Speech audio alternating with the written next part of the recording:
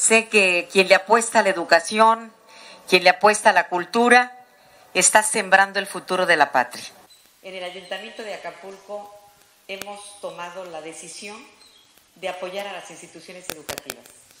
Es aquí donde tenemos que invertir, donde tenemos que apostarle a la educación como un instrumento de cambio, apostarle a nuestros jóvenes para que estudien con dignidad, para que estudien en las mejores condiciones. Quiero agradecer aquí a nuestra presidenta municipal por esta obra, porque ya llevamos seis años aquí en Cerro de Piedra y no nos habían construido hasta ahorita.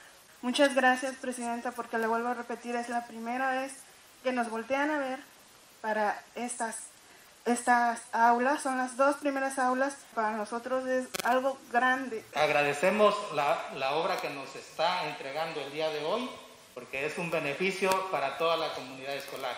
La verdad estamos muy contentos por esta obra que más que nada va a ser para beneficio de nuestros alumnos, donde ya es un espacio digno, donde ellos podrán realizar sus diferentes actividades educativas, eh, culturales, físicas, y bueno, es un, una obra en un espacio de usos múltiples.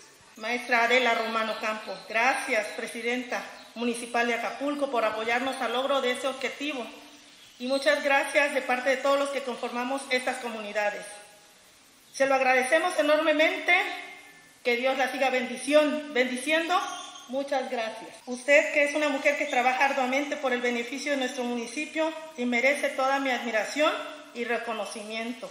Licenciada Adela Romano Campo, Presidenta Municipal de Acapulco de Juárez Guerrero.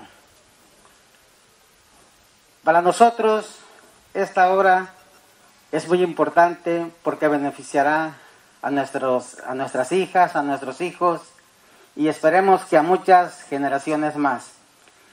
Con esta obra se beneficia las y los estudiantes de aquí de nuestra comunidad. A nombre de la Sociedad de Padres de Familia, le doy mis más sinceras gracias de todo corazón y esperamos, como lo dijo aquí la directora, en un futuro no muy lejano contar nuevamente con su presencia